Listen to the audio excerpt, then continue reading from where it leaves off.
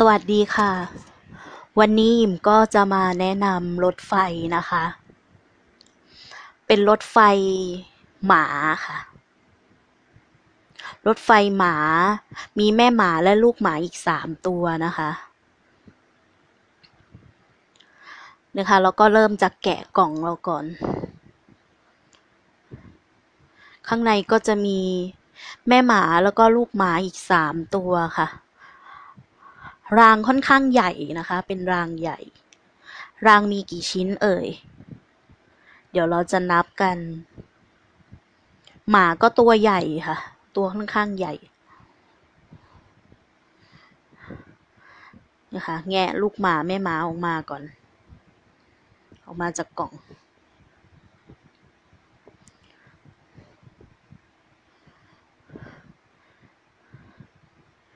เรามาดูรางกันสิสองรางตรงมีสองรางโค้งมีสี่ค่ะ เป็นรางใหญ่นะคะ ไม่ใช่รางเล็กนะคะ ดูแม่หมาสิ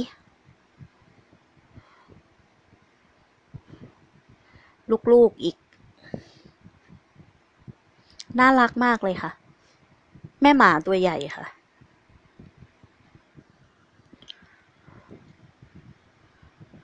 เดี๋ยวเราจะลองใส่ฐานแม่หมานะคะ ฝาฐานก็อยู่บนหลังหมาค่ะ ใส่ฐานหนึ่งก้อน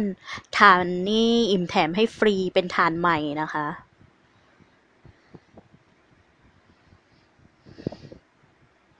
เดี๋ยวเราก็จะมา ประกอบรางค่ะ ดูซิวิธีประกอบยังไง เป็นรางเสียบค่ะ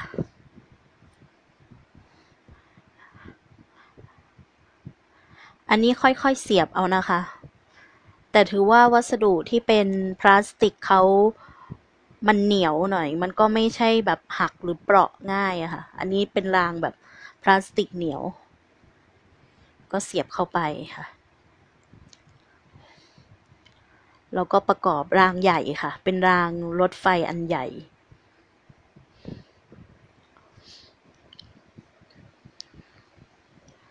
เดี๋ยวเราจะต่อโบกี้แม่หมากับลูกหมานะคะ เป็นขบวนรถไฟหมาค่ะ รถไฟขบวนหมา มันจะมีตะขอเกี่ยวค่ะ แน่นหนาดีเหมือนกันค่ะ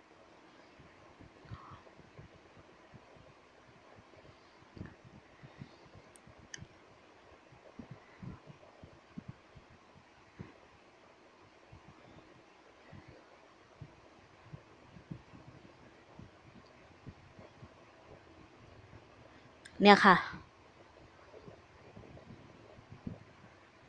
ก็วิ่งเป็นรถไฟขบวนหมากับแม่หมา